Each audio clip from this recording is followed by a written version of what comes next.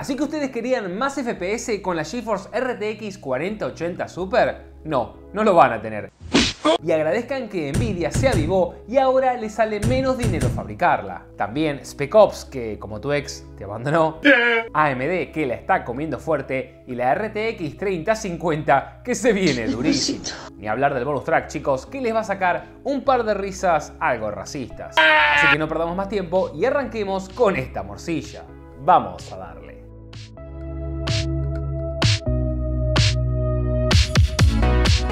Ustedes y yo sabemos que son pocas las cosas que hacen feliz a un hombre. Sea una cerveza helada, amanecer con el amigo en la boca de tu prima y obviamente que no aparezca el cartelito de activar Windows cada vez que prendemos la PC.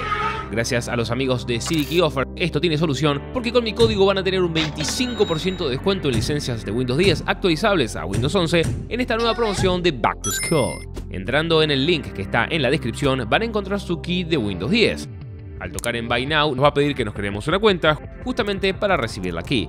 Lo hacemos en dos patadas y ya podemos comprarla. En esta super página vamos a poner mi código CR20 para tener un 25% de descuento quedando en el precio que van a ver en pantalla. Y una vez que lo compremos, que en Argentina podemos hacerlo incluso por Mercado Pago o Rappi Pago, nuestra flamante key nos va a estar esperando en el User Center. Listo, con pegarla en panel de control, sistema, acerca de, ya van a tener su Windows activado. Recuerden que con esta misma key van a poder actualizar a Windows 11, así están cubiertos por varios años más. Chicos, no lo piensen más, si necesitan una key de Windows 10, pasen por CD Key Offer. Arrancamos la morcilla con una noticia bastante extraña. Esta semana el que desapareció como por arte de magia de varias tiendas digitales ha sido Shooter Spec Ops The Line, título de 2012 que con el tiempo se ha convertido en un juego de culto por su cruda visión sobre la guerra, su efecto en los soldados y las consecuencias de nuestros actos.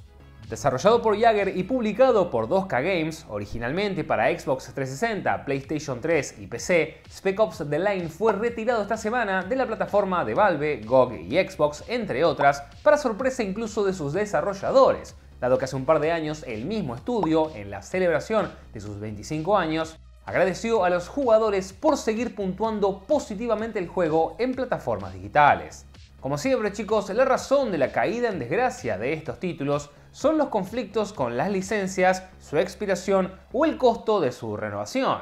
En este caso, dado que Spec Ops The Line es un juego de 2012 y ya lleva 12 años en el mercado, varios de los acuerdos de distribución o contenido dentro del juego se deben haber vencido.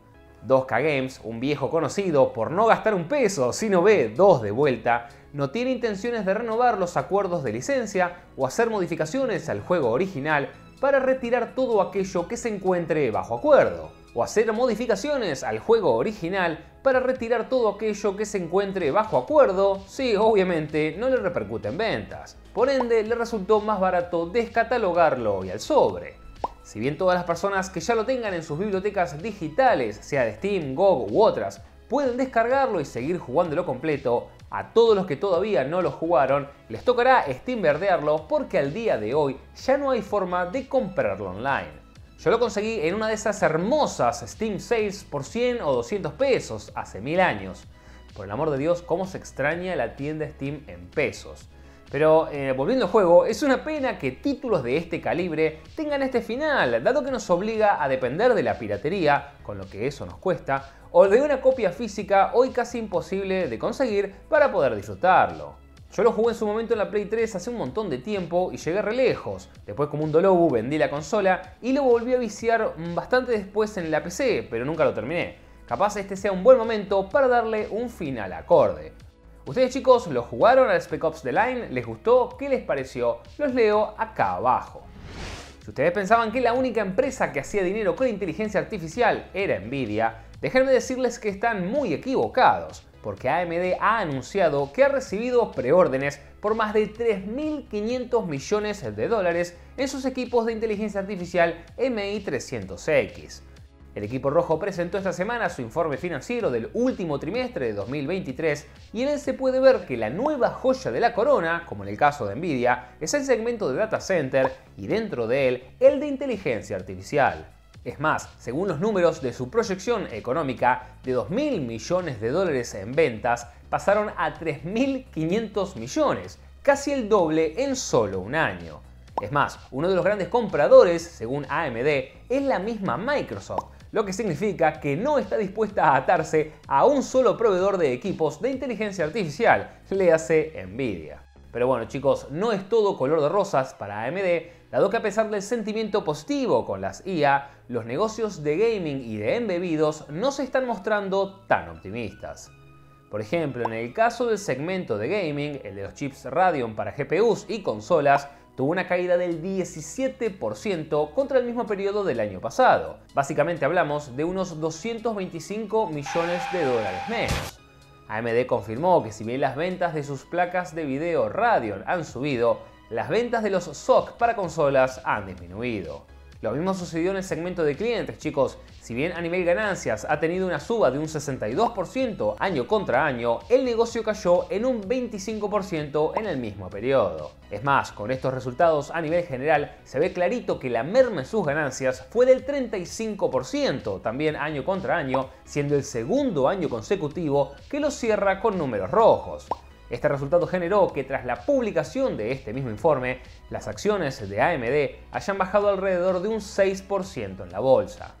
Habrá que esperar chicos un par de meses más para conocer cómo arrancó este 2024 AMD y si con los anuncios y los productos presentados en la CES 2024 podrá darle la vuelta a uno de sus segmentos más visibles, pero que dejó de ser tan rentable como antes, el de gaming. La que sigue chicos es una que seguramente a más de uno le va a dar por las bolas. No a muchos, pero seguro que a más de uno. Esta semana Rockstar Games ha anunciado que dejará de soportar Windows 7 y Windows 8.1 para su launcher en PC.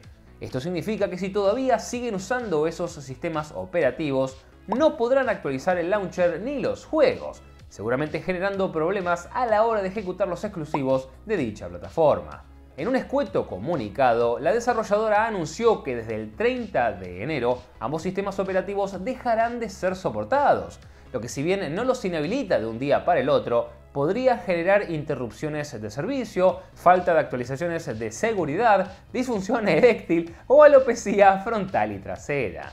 Si bien como launcher chicos este deja bastante que desear, lamentablemente es un paso obligado si queremos jugar en PC al GTA V, al Red Dead Redemption 2 o al GTA Trilogy. Bueno no, ese no, ese es una bosta. Por lo que chicos ya están avisados, si quieren seguir viciándole a los juegos de Rockstar sin problemas en PC, tendrán que actualizar como mínimo a Windows 10. Pero ahora cuando estaba haciendo esta nota me quedó la duda, ¿alguno de ustedes sigue usando Windows 7? por favor confírmelo en los comentarios. El que acaba de caer a la fiesta de las PCs sin cables a la vista ha sido MSI con su nuevo concepto Project Zero. Como si de una serie de anime Echi se tratara, este Project Zero consta hasta ahora de un set de cuatro productos cuya particularidad, por ejemplo en el caso de las motherboards, es contar con todos los conectores eléctricos y de ventiladores en la parte trasera, dándole un aspecto mucho más limpio, minimalista y escondiendo, como tu prima, todos los cables por detrás. En el caso de las motherboards, por el momento MSI anunció una con un chipset B650M para AMD y dos para Intel, una Z790 y otra B760M, todas con un acabado en blanco y las características propias de cada plataforma, como compatibilidad para memorias DDR5, Wi-Fi 6E y un puerto Lightning de 20 gigabits por segundo.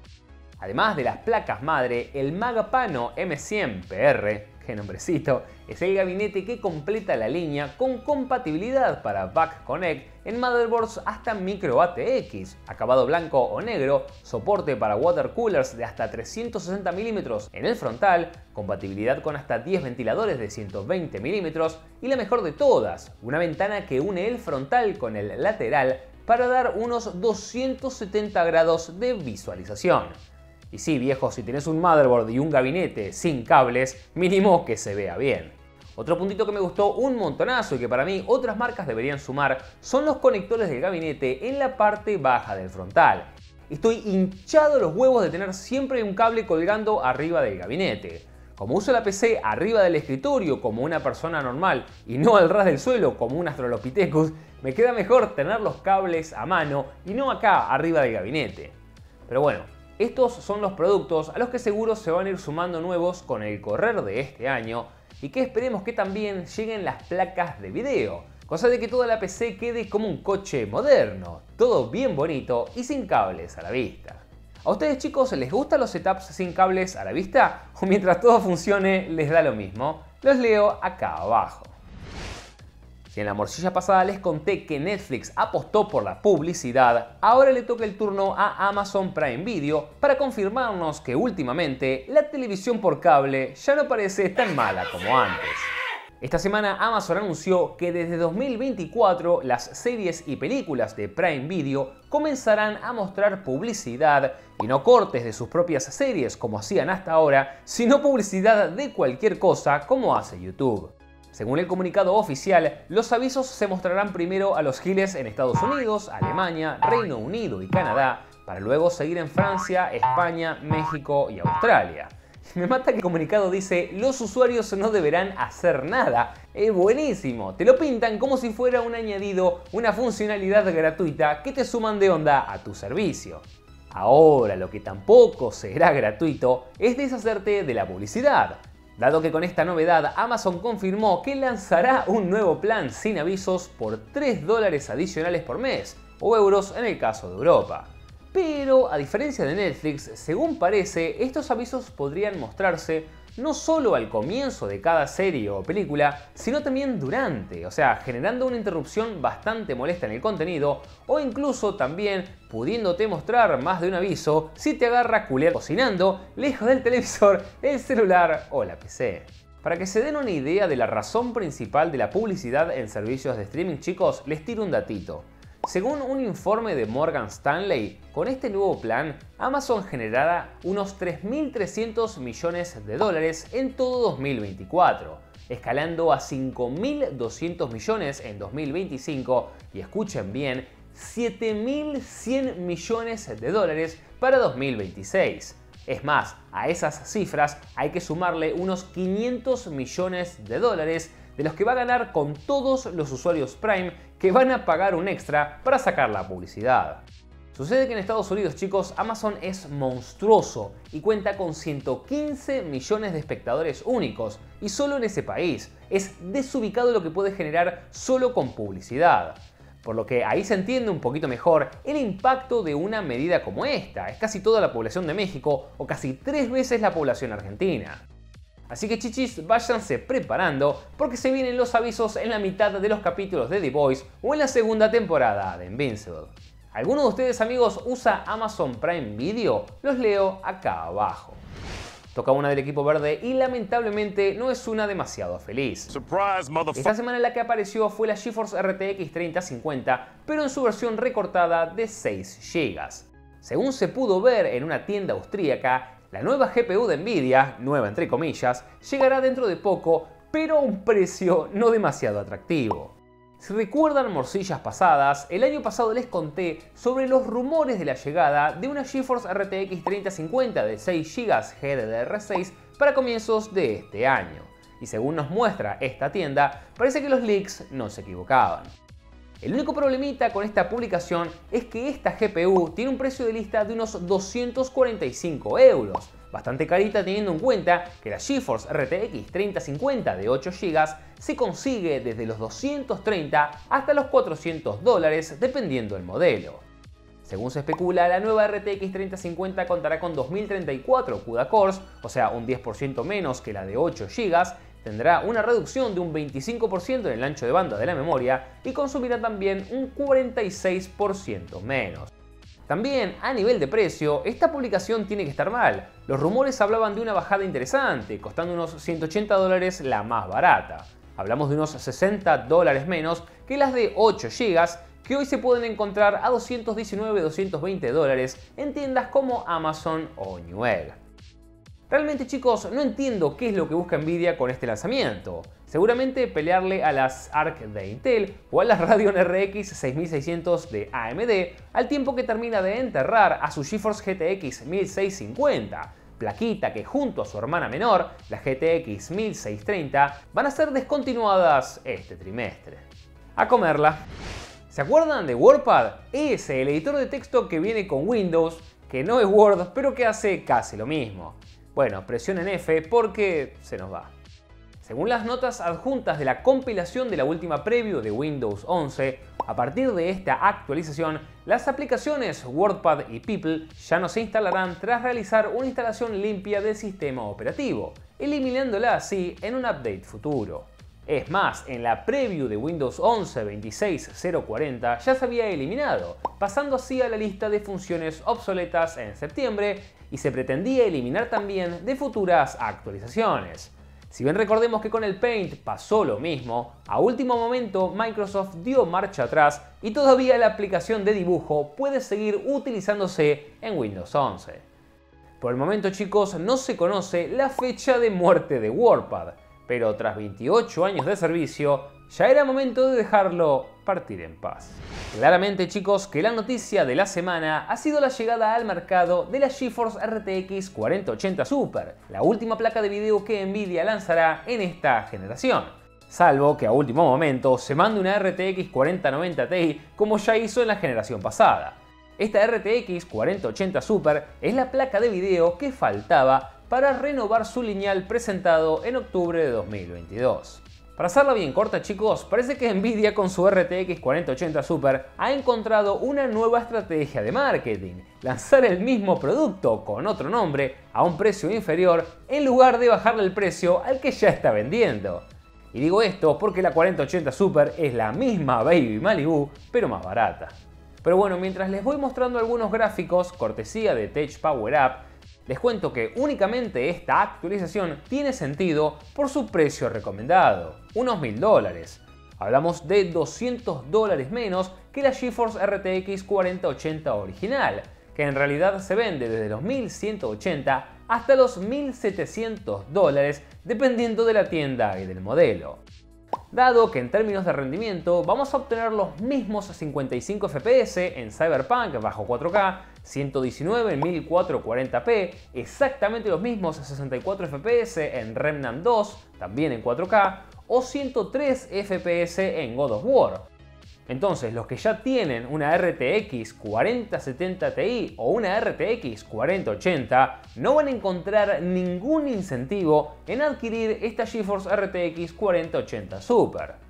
Es más, al ver las cifras de rendimiento, yo dije, bueno, la van a romper en consumo y temperaturas, como Nvidia suele hacer, pero este tampoco fue el caso. En reposo consume los mismos 13-14 watts contra los mismos 304-305 watts en gaming. Es más, en temperatura, la mayoría de los modelos se mueven de los mismos 60 hasta los 80 grados, dependiendo de cada fabricante y su sistema de refrigeración. Entonces de vuelta chicos, creo que a diferencia de la RTX 4070 Super, que es la única de las tres que más o menos zafa, tanto la RTX 4070 Ti Super como la RTX 4080 Super son una mera actualización de precio, pero sin ofrecer ese boost de potencia que todos esperábamos para justificar la compra o el cambiazo. Es más, tomando algunos números que saqué de una web, la RTX 4070 Super más barata cuesta un 25% menos que la RTX 4070 Ti Super más barata y rinde solo un 9,3% menos, contra una GeForce RTX 4080 Super que sale un 45% más que la RTX 4070 Ti Super más barata, pero que solo rinde un 9% por encima. Es una locura. Lo único que puede llegar a valer la pena de este nuevo lanzamiento es por un lado esperar a los precios a los que seguro se van a poder conseguir las RTX 4070, 4070 Ti y 4080 no Super cuando ya queden pocas y las tiendas se las quieran sacar de encima. No creo que sea un precio de remate, pero seguro un poco más bajo que los actuales sobre todo porque son pocos los modelos que respetan el MSRP, la mayoría arrancan de los 1050 dólares en adelante. Y segundo, lo que realmente me gustaría ver es cómo AMD responde a estas nuevas supers, porque ahora mismo la Radeon RX 7900 XTX cuesta lo mismo que la RTX 4080 Super y rinde similar, pero obviamente el equipo rojo la come en Ray Tracing y DLSS 3. Ahora, si la RX 7900 XTX me sale 890 o 900 dólares, no lo voy a pensar dos veces. 24 GB de memoria y FSR a casita. Pero bueno chicos, esta es mi opinión. El mercado ya habló y por lo menos en Newegg ya no queda stock de ninguna GeForce RTX 4080 Super. A ustedes chicos, ¿qué les parecieron los lanzamientos de las tres RTX Super? ¿Esperaban algo mejor o se la veían venir? Los leo acá abajo. Bueno loros, ahora sí, toca la mejor sección de la morcilla de noticias, el sacro con nuestra. La primera es una noticia a tener en cuenta si ya tienen una o quieren comprarse un Steam Deck OLED. Es que el canal de YouTube, The Punks, ha hecho una prueba con el nuevo modelo de Steam Deck para determinar la vida útil de su pantalla y cuánto tiempo puede llegar a durar su panel OLED. Según las pruebas de este loro, tras 750 horas de estrés o su equivalente en tiempo, unos 31 días, la Steam Deck OLED ha sufrido el mismo burn-in en su panel que otros productos con la misma tecnología.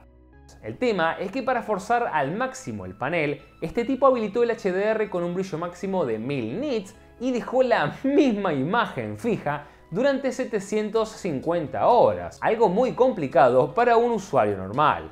Primero porque se te apaga la consola y segundo porque en todos los juegos vamos a tener imágenes en movimiento y pocos elementos estáticos que puedan generar estos problemas.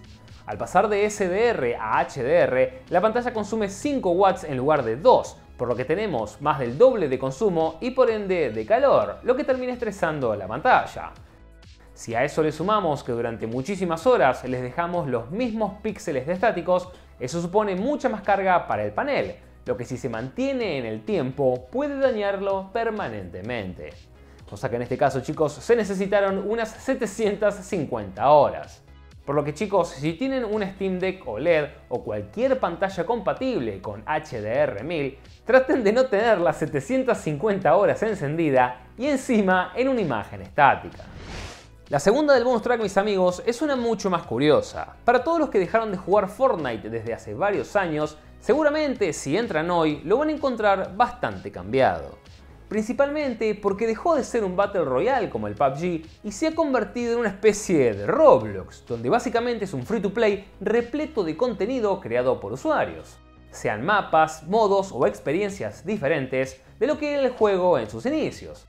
Al punto que hoy tenemos, por ejemplo, un Lego Fortnite, que es el juego más popular de Lego, o Rocket Racing, un spin-off del Rocket League. El tema chicos es que con tanta generación de contenido dentro del juego, la moderación se ha vuelto un poquito escasa.